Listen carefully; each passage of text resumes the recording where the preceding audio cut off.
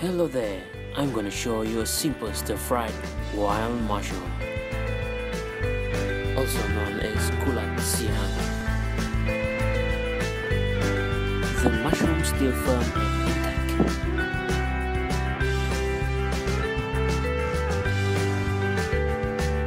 Warm up the pan.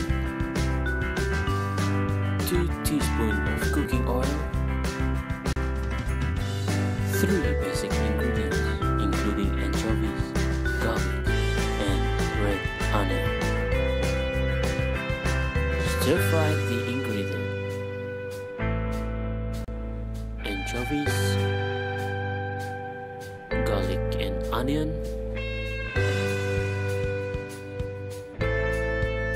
Never let it burn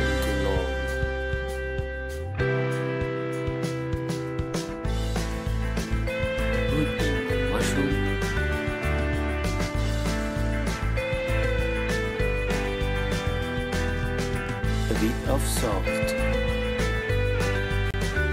Stir them.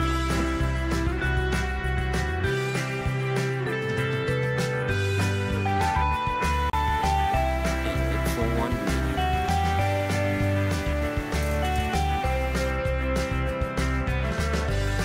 It looks like it's ready to be served.